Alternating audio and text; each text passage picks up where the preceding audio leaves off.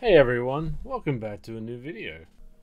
I wanted to make this to shed light on what I've been up to and some realizations I've come to over the past few weeks. Lately I've been into the world of prototyping and kit bashing, or more broadly speaking, sculpting figures. I kind of took a break from my comic projects to explore this side of my creative journey. It started with a bus for those who were who have been watching. I made this tiefling bust. It was quite successful in my eyes.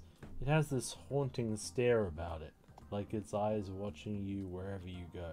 And from there it spawned many unique one-off sculpts. Now, the first thing is, sculptures are cool. They can't be made anywhere else, however. They're fun, unique objects to film, and I think the maker can bring a lot of meaning into the process, in a way. But I seem to have a problem. In my opinion, it's e it's better to make things simple at first, seeing the value in simplicity and even cute aesthetics. Not that they have to be. However, I have a tendency to be elaborate when left unchecked. It's in part a reaction to a channel by a Russian YouTuber who makes amazing work. You should check them out. It's called Sculpture Workshop Ick.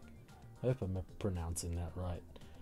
Then later on, looked into doing Garage Kits, which is mostly just anime figurines.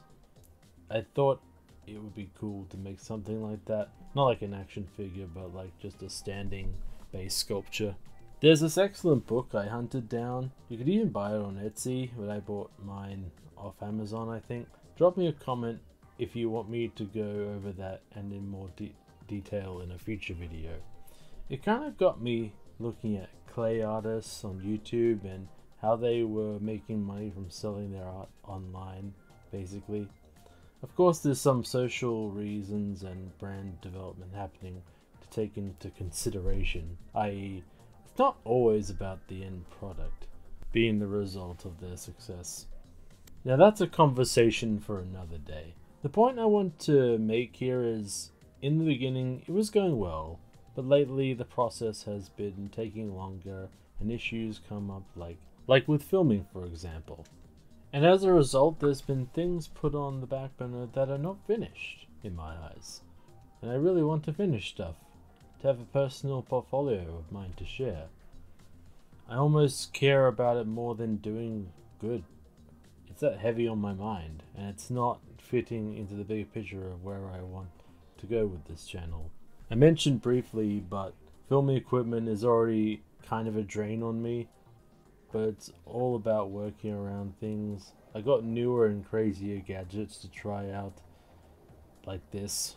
They ask you how you are, you just have to say that you're fine. The materials I used expanded, and I think to a fault. I really dipped my toe into a lot of different materials, like epoxy, two-part epoxy clays, Sculpey, the list goes on. But maybe I was working too fast and in an imprecise manner. Costs like this can add up over time, especially with resin and silicone. Things like that going wrong are heartbreaking in my eyes. My spending on those supplies almost became hyper consumerist at one point, and I felt results weren't coming in from the time and money invested. Many mistakes started to feel costly to me. I don't post a lot, and I want to say I love YouTube and I think it's my home. If there was a social media giant I preferred. I also have an Instagram. I would love to have a set schedule set in place. That's not something I've done routinely, and I think that will be one of the changes I make going forward. With comics, it's interesting. I find more I've made more substantial growth with every story I have written, drawn, and produced like just printed and like or posted somewhere. Uh, 2019 was when I completed my first web comic, technically 2020, and then I went on to make more short stories for the anthology I was a part of. But with all this, I'm not saying I hate sculpture. It's taught me important lessons. How work can fit in, like how your work can fit into an environment and being mindful of proportion and the weight of objects and gravity because they fall over. a lot. I think the more important thing, lastly, is I did sculptures because for meta reasons I wanted to learn to make more videos and develop my skills in storytelling. Which is odd to say. It's not it's not like un unrelated to my previous work in comics. But yeah. So here's some changes I'd like to put into effect. Posting on Instagram going forward, I want to set my schedule initially to Monday to Thursday. That's Australian Eastern Standard Time. So that might be uh, two days behind depending on where you are in the world. Because the truth is, they may not, even though I don't post a lot, I produce work on my off, off time when I'm not at my full time job. And I've worked on three different projects at the same time. Also, I'm not looking to buy more sculpting supplies for the rest of the year. I'll use what I have for the time being, which is interesting.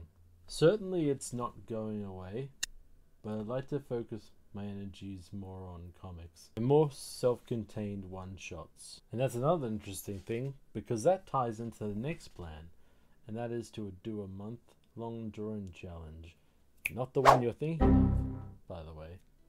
This one I'd like to call Ducktober. More on that next month, but thank you for watching. If you'd like to hear more about that, you should subscribe to my channel. Thank you guys for watching, and I'll see you again next time. Cheers, and have a good day.